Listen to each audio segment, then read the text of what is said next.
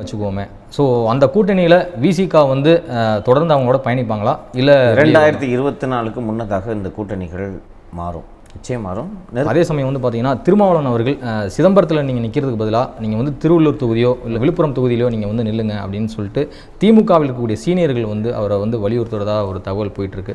அது- அவர் வந்து இந்த டைம் என்னவா நினைக்கிறாரு அப்படின்னா விசிகால் இருப்பவர்கள் வந்து சிலர் சொல்கிறாங்க இந்த டைம் வந்து பொது தொகுதியை வந்து கேட்டு நாங்கள் இருக்கலாம் அப்படின்னு சொல்லிட்டு இருக்கோம் அப்படின்னு சொல்லி சொல்கிறாங்க பொது தொகுதியை ஒதுக்க திமுக முன் வருமா இல்லை அதிமுக கூட்டணி போனாலும் அதிமுக பொது தொகுதியை ஒதுக்க ஒதுக்க முன் வருமா திமுகவில் இருக்கக்கூடிய தலைவர்களிலேயே மிகச்சிறந்த பேச்சாளர்கள் என்று உங்களது நினைவுக்கு வரும் தலைவரின் பெயரை சொல்லுங்கள் ஆ ராசா. போதும்.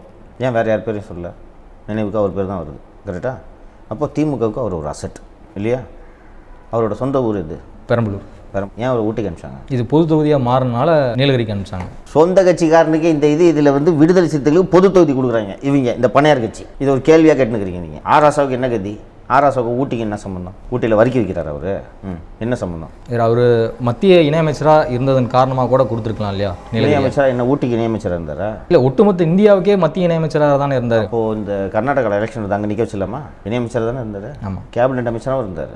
கர்நாடகா நிற்க வச்சலாமா அப்படி தள்ளி தள்ளி ஒதுக்கி தள்ளிடு. என்ன லாஜிக் ஊட்டியில் நிற்க வச்சுன்னு கேட்டால் மத்திய அமைச்சராக இருந்தானே ஊட்டி கொடுத்துருவீங்களா? எதுக்கு தள்ளி விட்டாங்க ஊட்டிக்கு சொல்லுங்கள் இல்லை அந்த டைம் வந்து மாவட்ட செயலர் பதவியை வாங்கிட்டு இவருக்கு வந்து கொள்கை பரப்பு செயலர் பதவி கொடுத்தாங்க. அதெல்லாம் ஓகே பெரம்பலூர்லேருந்து ஊட்டி ஏன் அனுப்பிச்சாங்கன்றது கேட்ட கேள்விக்கு இன்னும் பதில் சொல்லுறீங்க. பெரம்பலூர் பொது தொகுதி ஆயிடுச்சு எதுக்கு பொது தொகுதியில் ஒரு தலித்தை நிற்க வச்சு வேஸ்ட் பண்ணணும். அது அதானே? சொந்த ஊருங்க அந்த ஆளுக்கு. எவ்வளோ ஃபேக்ட்ரி கொண்டு வந்திருக்கா தெரியுமாங்க? எவ்வளோ இன்வெஸ்ட்மெண்ட் கொண்டு வந்திருக்கா தெரியுமா? எதுக்கு வேட்டி விட்டீங்க? அப்போது விடுதலை சிறுத்தைகளை உங்கள் பொது தொகுதி ஒதுக்குவாங்க. அப்படி தானே திமுக உடன்பிறப்புகள் இருப்பாங்க. அவங்ககிட்ட போய் இந்த கதையெல்லாம் சொல்லுங்கள் சட்டமன்றத்தில் ரெண்டு பேர்த்துக்கு கொடுத்து ஜெயிச்சும் வந்துட்டாங்களே. எங்கே?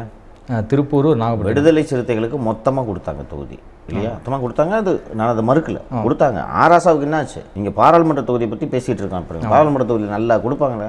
கன்வீனியன்ஸ் காரணமாக அங்கே விடுதலை சிறுத்தைகளை நாங்கள் இதை வாங்கிக்கிறோம் ஜெயிச்சு பார்க்குறோம் அப்படின்னு சொன்னதுனால கொடுத்தாங்க.